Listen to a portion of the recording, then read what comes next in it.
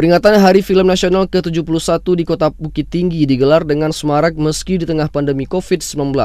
Peringatan Hari Film Nasional ini sangat spesial karena bertepatan dengan 100 tahun kelahiran tokoh perfilman Indonesia Usmar Ismail.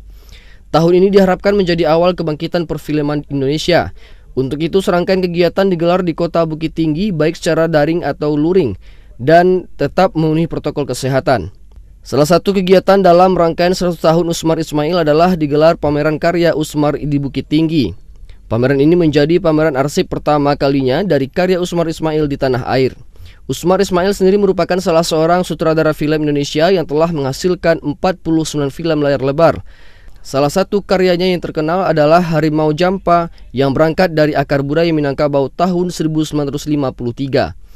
Uh, distribusi dan eksibisi cukup terganggu karena uh, banyak film yang pada akhirnya memilih untuk uh, bertahan untuk tidak ditayangkan bioskop karena memang masyarakat belum ke bioskop.